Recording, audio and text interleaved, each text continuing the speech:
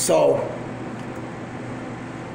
there was a lady that was blind and she had a boyfriend and they was together for 10 years.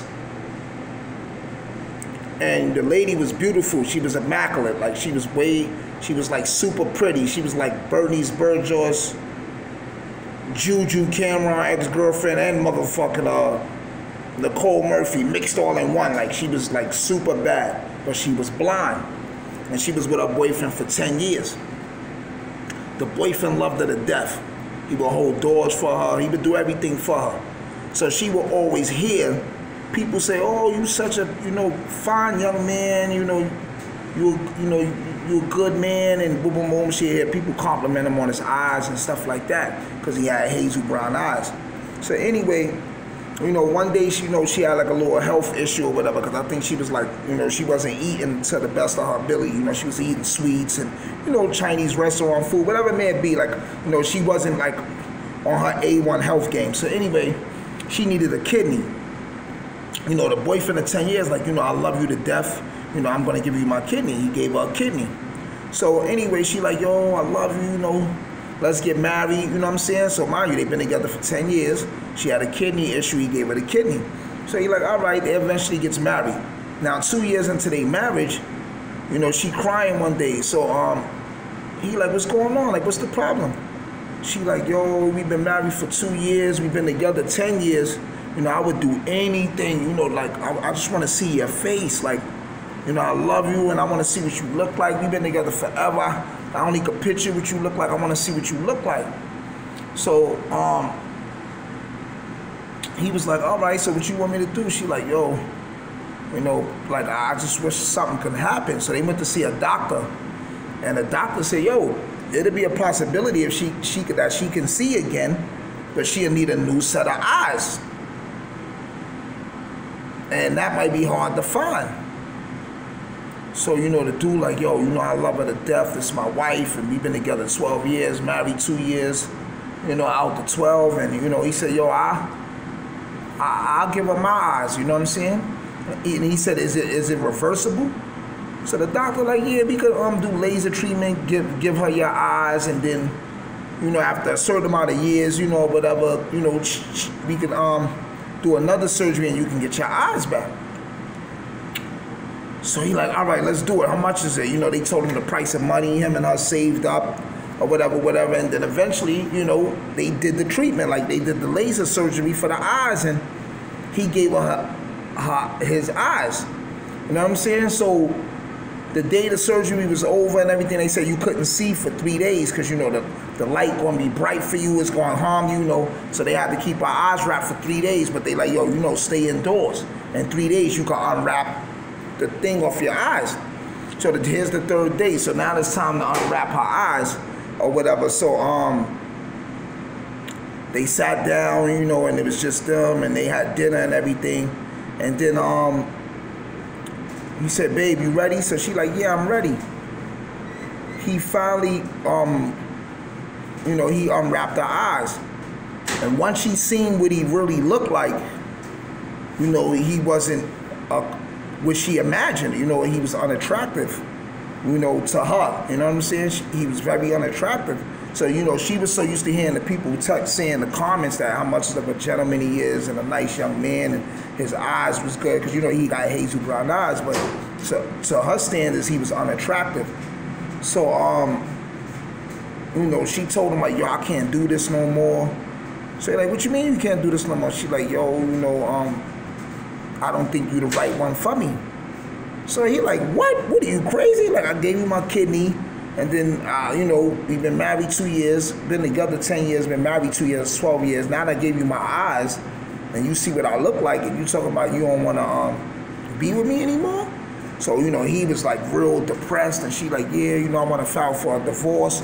Like she got stone cold on him. So anyway, eventually this man jumped, you know, he killed himself. And then when the man killed himself, you know, um, she eventually moved on and was living her life like she became real worldly. The moral of this story is this, you know, um,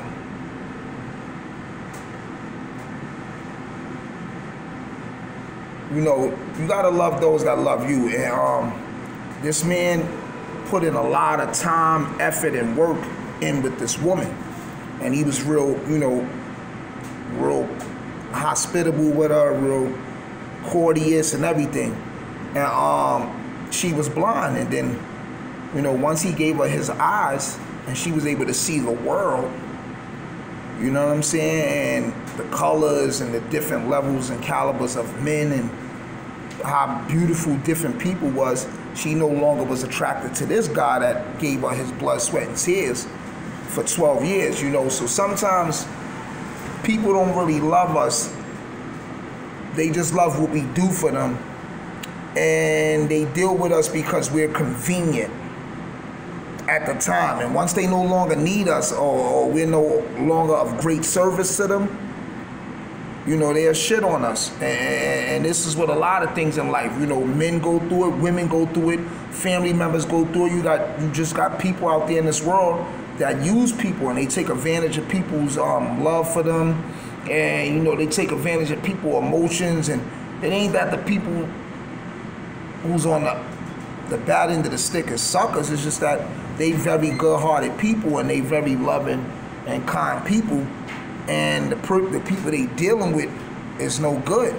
So even though the lady was real attractive and beautiful on the outside, she was ugly inside. Her heart was dark and she was like demonic. Like, you know, she just was like a real ugly person inside. And even though the dude was ugly on the on the outside, externally, he was beautiful inside. He had a good heart. He took care of her. He gave her his kidney. Then he gave her his eyes.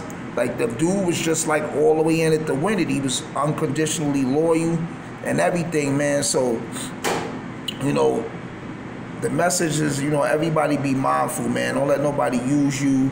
You know, learn the difference between somebody really dealing with you for you and, and seeing your true value and worth and not just dealing with you out of conveniency until something better comes along or to they're in a better position to where they no longer need you.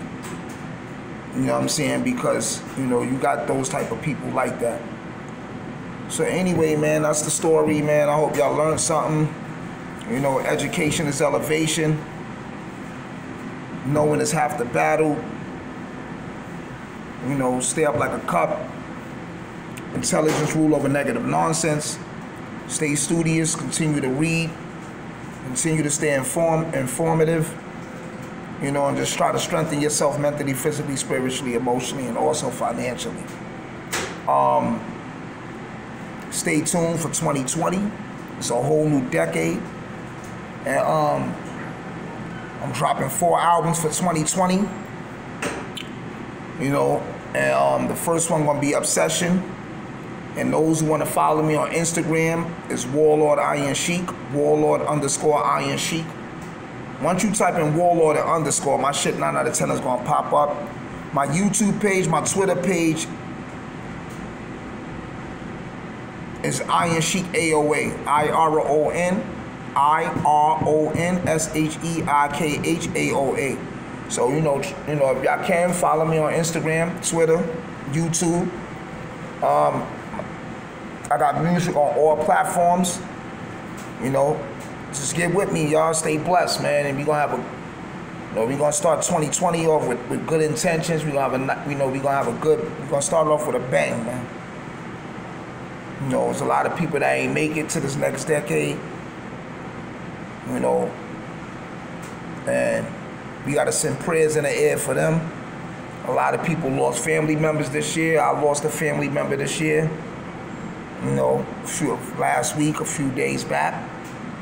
And, you know, we got to just keep moving and we got to contribute to society. We got to keep putting positive energy and we got to keep putting creativity and talent and, and structure out there because, you know, evil is winning.